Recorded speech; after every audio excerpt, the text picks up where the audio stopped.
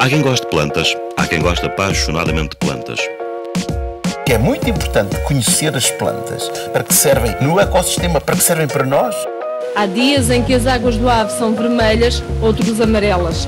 As dezenas de fábricas das margens fazem descargas constantes de vapores e tintas. A industrialização deve, todavia, inscrever-se num plano harmónico de desenvolvimento e bem-estar. Em seu nome, não podemos sacrificar rios que abastecem localidades importantes tintureiros estão muito bem documentados uh, para a Idade Média e eles eram homens que uh, ocupavam posições intermédias nas uh, posições do, do corpo de Deus, o que quer dizer que não eram os ofícios mais destacados. na Idade Média também encontra-se documentada a existência de artistas, de artífices judeus, muçulmanos, que depois também, fruto dos diversos percalços que todos conhecemos com estas comunidades, acabam por, por ser cristianizados. Contudo, a tinturaria nacional é muito importante onde, em Trás-os-Montes, onde há a produção de, de seda, em que há acoplada uma tinturaria, mas também na Covilhã, portanto, a fábrica, a Real Fábrica dos Panos tem uma tinturaria acoplada, apesar de serem uma profissão desde a Idade Média algo mal vista, porque é suja, porque polui as águas, porque pinta o corpo, Uh, enquanto que profissões como, por exemplo, os ourives são bem vistos em sociedade, são muitas das vezes uh, homens que uh, acumulam muito saber acumulado, receitas que lhes permitem tingir cores luminosas como nenhuma outra. Há uma ligação no imaginário de todas estas cores à própria pintura e à dimensão que também uh, o ato de uh, o próprio uh, mistério do pintor, de como é que se fazem misturas de boas cores. Os encomendadores encomendavam pinturas ao rico, distinguiam as pinturas segundo também o tipo de corantes que eram ou de pigmentos que eram utilizados e portanto tingir, tingir tecido apesar de ser uma atividade suja, eh, uma atividade mecânica ou mesteiral, encerra essa dimensão experimental e também artística.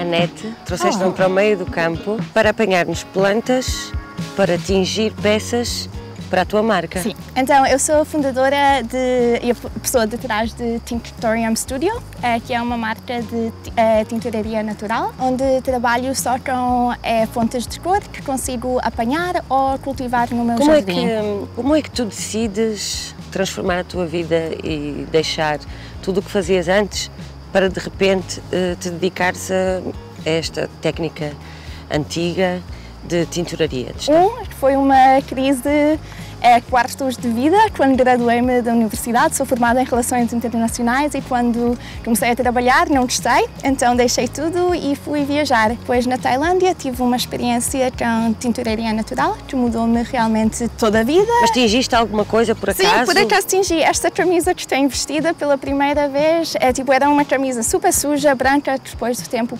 passou a um castanho.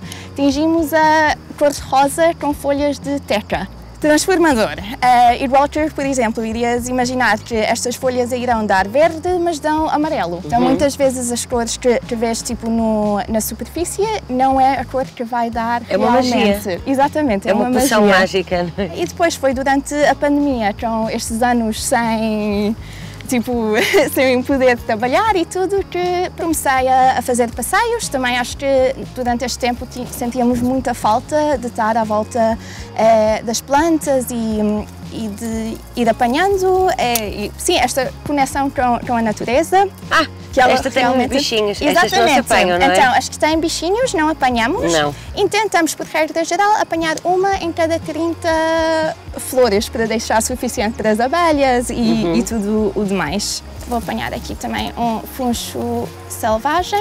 O funcho é... selvagem é o que fica como uma renda. Exatamente, fica Ai, uma impressão linda, o cheiro é fantástico e também é, tipo, é comestível. É parecido com a erva doce que nós em Portugal usamos para Sim. fazer castanhas cozidas. Fantástico para muitas coisas, medicinal também, as sementes. Os gases.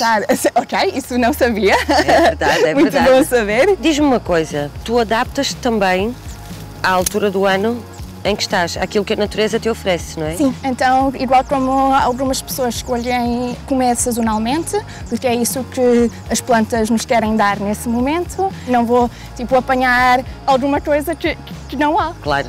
Então, olha, vamos seguir caminho? Vamos continuar a apanhar mais coisas que estão aqui na, na zona. Aí eu quero apanhar um bocadinho de fungos Ah, só sim, que não apanhei.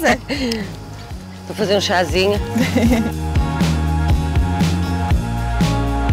Nos últimos 20 anos, a produção de roupa duplicou. Estamos a produzir uh, 100 bilhões de peças, aliás, 100 mil milhões de peças de roupa por ano. Se andarmos há 50 anos para trás, vivíamos uma realidade em que, se calhar, uh, uma mulher na zona, que vivia na zona rural ou que vivia, se calhar, perto destas comunidades, se calhar tinha três vestidos ou se calhar tinha um par de sapatos, não é? Quando nós passamos por uma realidade em que não só compramos muito mais, como descartamos muito mais, que isto é um fator extremamente importante, porque nós descartamos 92 milhões de toneladas de peças de roupa todos os anos.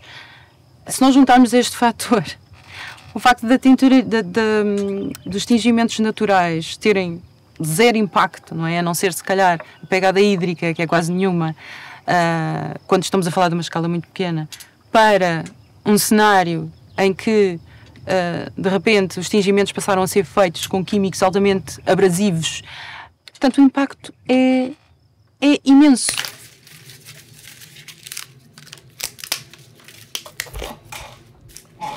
Nós começamos a desenvolver o biotinte desde 2015, com o foco de tentar desenvolver um, um, tingimento que fosse além daquilo que já era oferecido no mercado, tendo em conta as necessidades da poupança de recursos e da reutilização de recursos. Começamos essa pesquisa em 2017, testando muitas diferentes matérias-primas, matérias orgânicas, que, se possível, sempre fossem considerados, pudessem ser considerados resíduos.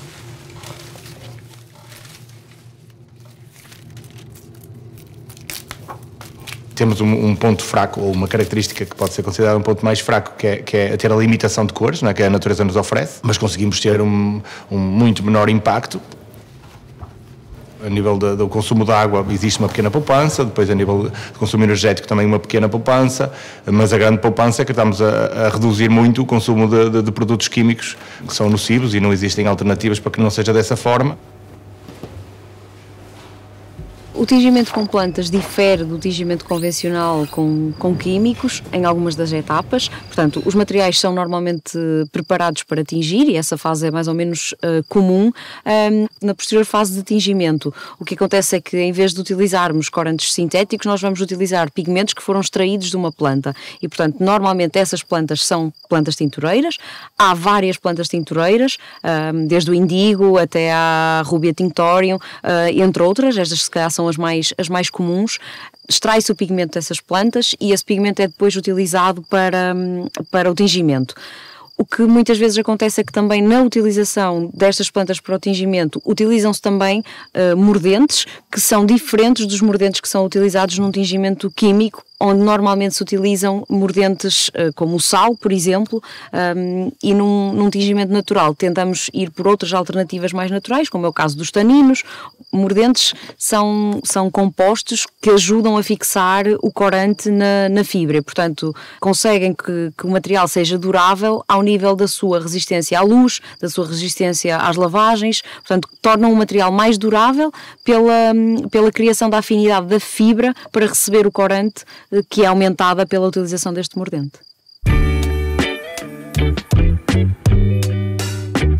Anete, estamos aqui nesta cozinha improvisada. Tu vais-me explicar qual é o processo para conseguirmos ter uma peça tingida. Um, então aqui é, na panela é o que chamamos um banho de tingimento, mas em realidade é só uma sopa de plantas que vai dar cor em vez de ser para comer. As plantas estão aqui é Coreopsis tinctoria. Temos as flores secas eh, na mesa. Coreopsis tinctoria, eh, o nome tinctoria já sabemos que é uma planta tintureira tradicional e toda planta dá tons laranjas, amarelos, avermelhados dependendo da concentração. Mas, tu, mas, tu, mas, utilizas também isto? Sim, vamos depois ver a, a, cor que dá no tecido. Então temos a camisa aqui, que já levou todo um processo de pré-tratamento, que é, se chama um processo de é, modernizagem com sais minerais. E é isso que faz a conexão insolúvel. Como é que tu fazes isso em casa? É, é também sopas, fazendo, é, mergulhando o tecido em, é, em águas que têm o, o, mineral. Neste caso, usamos o alumínio, que é o mineral mais encontrado em todo o planeta Terra, mais comum. Este é um mordente caseiro, é, que é só pregos com ferrugem ah, é, com água e vinagre. O vinagre vai comendo a ferrugem, vai, vai criando o metal que vai e fazer podes utilizar agarrar. esta... Okay. Sim, só que dependendo do pré-tratamento utilizado, do mineral, vão sair cores diferentes. Então, nestas folhas lindas. aqui, por exemplo, cada folha representa uma planta. Tens algodão, uhum. tens malhas. Sim, então também o tipo de tecido vai afetar muito também a cor. Então eu, se fosse criança e estivesse em casa a ver este programa, uhum. pensava, vou já começar a pintar as minhas camisolas todas. O material tem que ser tecido natural. Uma criança que está entusiasmado pode ir pegar, fazer uma sopa de plantas e mergulhar a roupa. Lá Só dentro. que não vai ter muita permanência. Ao lavar, as cores vão sair. Não há maneira má nem boa de fazer estas técnicas, mas sim há boas práticas quando queres ter bons resultados que têm resistência ao tempo, ao uso, às lavagens, ao sol. E é por isso que este pré-tratamento é tão importante. É isto que vamos estufar ali na sopa? É isso, exatamente. Fizemos as dobras só para conseguir partes em branco, para conseguir uh, ter mais contraste a seguir das impressões. E vai ir à sopa ou ao banho de tingimento.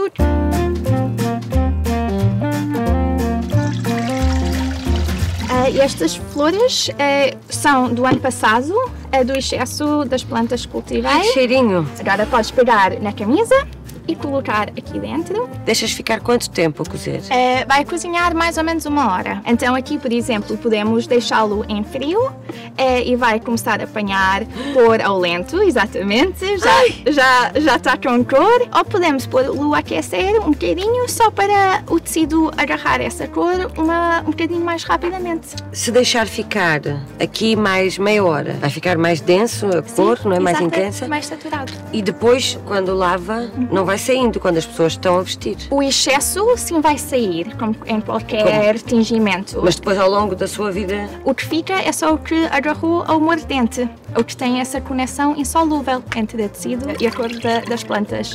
Então já não vai manchar o tecido, já não vai manchar eh, as outras roupas, podes lavar com a tua outra roupa. Em realidade é assim como tudo era feito há mais de 150 anos atrás.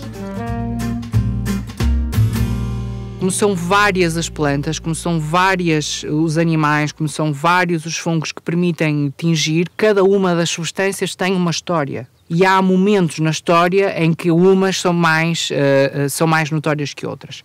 O pano tecido uh, mais antigo encontrado no território, que hoje corresponde a Portugal, com datado do terceiro milénio, é exatamente um pano de linho que não é tingido, mas pintado com ruiva. Quando nós pensamos, por exemplo, no Império Romano, pensamos na exploração, os, os imperadores chegaram a, a deter monopólio sobre a exploração da púrpura, um molúsculo que dá nome à cor, o nome a púrpura, e portanto é longa esta, esta tradição.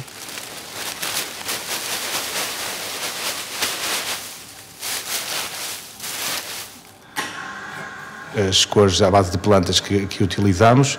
Uh, podemos considerar a folha do eucalipto, podemos considerar a rubia tintúria, que é uma raiz, a alcana tintória, o urucum, uh, depois temos a folha da amoreira, as fitas de madeira da parte da carpintaria, temos a, cebola do café. Esses já são os resíduos mais comuns. A folha do eucalipto foi das, das coisas mais óbvias que, que, que, descobrimos, porque se tornou quase uma praga no nosso país. Sabemos que as matas são limpas ou que são obrigatoriamente limpas todos os anos. Nessa fase existe uma, uma grande produção de, de, de folha de eucalipto que não tem uh, outra utilidade ou a larga escala não tem outra utilidade. Criámos um protocolo com empresas de, que fazem a limpeza das matas, fazemos a recolha no local separamos aquilo que nos interessa. É uma das cores que, que, temos alguma experiência também a produzir, que tem um dos melhores níveis de, de solidez à luz, dos melhores níveis de solidez à lavagem. Uh, por isso temos, também temos uma grande esperança de continuar a, a poder utilizar a folha do eucalipto.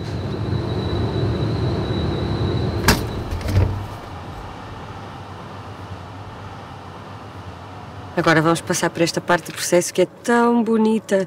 As flores que nós tivemos a apanhar, uhum. podemos fazer a impressão delas na peça. Exatamente. Estivemos a cozinhar na sopa Exatamente. do mágico. Então, os fundamentos são iguais à tinturaria natural, que foi o que fizemos no primeiro passo. Então, a camisa já ficou com a cor e agora vamos transferir a cor diretamente da planta no tecido, colocando as folhas no tecido, enrolando e depois pondo ao vapor.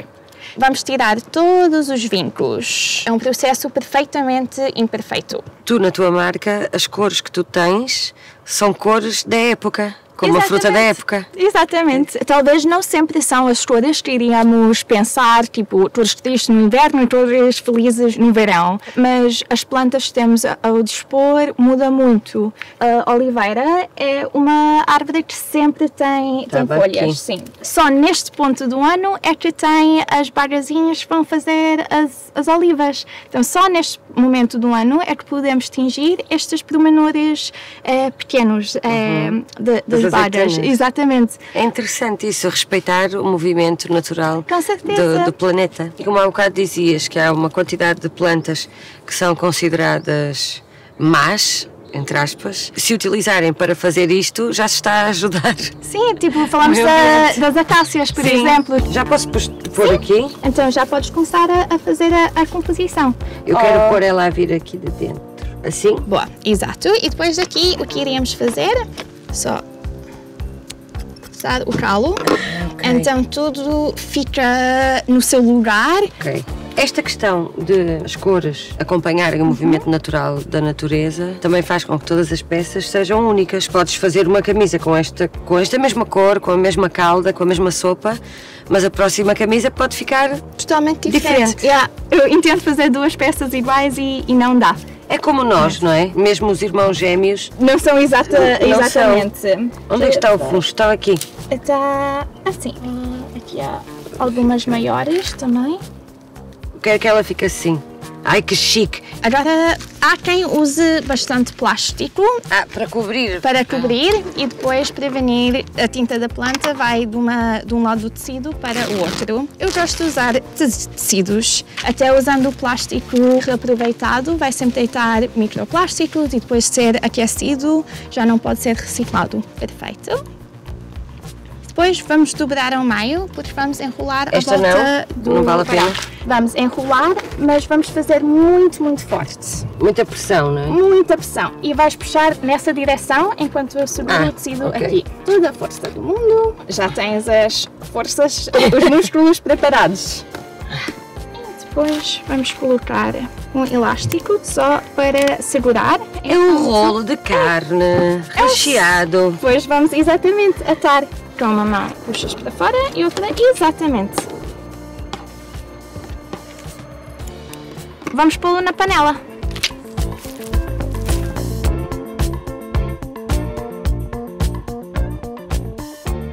A cor é um fenómeno perceptivo, não é? É um fenómeno, obviamente, que resulta da luz solar, há um elemento ah, físico ah, que é inegável, mas é um fenómeno perceptivo. E a forma como ah, as cores vão sendo aculturadas nas diversas regiões do globo é diferente. Quando nós falamos do contexto europeu e quando se fala do azul, um azul real, o azul relacionado com a coroa de França, por exemplo, o azul que está nas pinturas nos mantos da Nossa Senhora ou nos mantos do próprio, do próprio Cristo, esse é um azul fechado, saturado, que muitas das vezes é quase preto. E esse é um azul muito diferente do azul, provavelmente tingido nas comunidades ah, mais rurais ou nas cidades mais pequenas que não visava a exportação, ou mesmo aquele azul que era tingido para os consumos das classes intermédias ou dos estratos mais baixos da população. Uma cor é um nome e, portanto, as conceptualizações sobre esse nome vão alterando com, com as estruturas.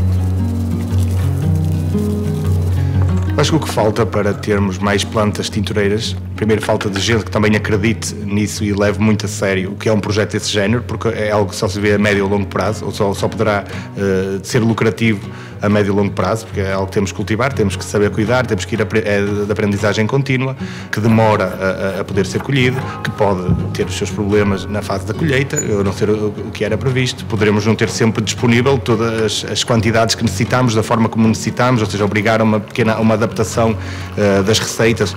muita frontalidade com os clientes, explicando que por alguma razão não temos acesso a uma determinada, a uma determinada tonalidade, porque naquele ano houve um problema, houve uma, houve alguma situação que fez com que, imaginando, dando o exemplo da Rubia Tintúria, eh, ela pudesse ter uma tonalidade um pouco mais coral ou um bocadinho menos vibrante, tendo todos mais ou menos mesma, os mesmos princípios, a mesma forma de, e os mesmos interesses, conseguimos resolver os problemas se os, se os anteciparmos. Uma das questões fulcrais que é necessário avaliar quando estamos a falar no tingimento com plantas é, em primeiro lugar, a disponibilidade das, das plantas uh, que temos para um, um, mercado que se prolonga ao longo do ano e, portanto, não é sazonal. Nós temos que ter produção ao longo de todo o ano e muitas vezes não temos disponibilidade desses pigmentos. Uh, outra das questões é ao nível da industrialização deste processo de tingimento propriamente dito, em que hum, as, as, as barreiras técnicas, digamos assim, são ainda algumas, nomeadamente na performance dos materiais ao nível da resistência uh, à luz uh, e na resistência às, às lavagens domésticas que todos nós fazemos em casa quando adquirimos um artigo.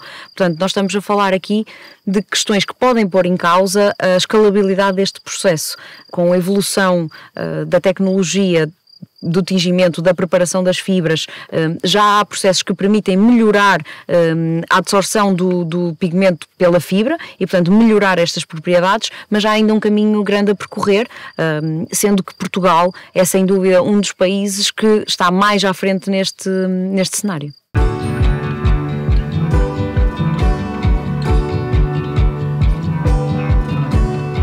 É muito bonito perceber que cada peça da tua marca é uma peça que tem um tempo muito próprio, muito seu, que é uma peça única. E é uma peça que eu acho que é o que ela tem mais, na verdade, tempo. Fala um bocadinho do tempo, o impacto que o tempo tem neste processo todo que tu fazes. Tipo, o processo não se pode fazer sem, sem tempo. Não podes só pôr a camisa no, numa cor e tirar e, e já está. Em vez tens de ter tempo para a preparação dos tecidos, para até fornecer os tecidos numa maneira um, responsável. Um, então as peças vêm principalmente de excessos de fábrica, de, de dead stock. Tu notas que há mais consciência das pessoas, porque uma pessoa que compra uma peça destas é uma pessoa que dá, dá valor ao processo em si, não é? Sim, está a ver mais e mais e reparo muito é, nas pessoas mais jovens que talvez não têm o poder de compra, mas que gostam muito e depois até voltam quando porque põem essa importância e quando chega aos anos, o Natal, dizem tipo é isso que, que eu quero.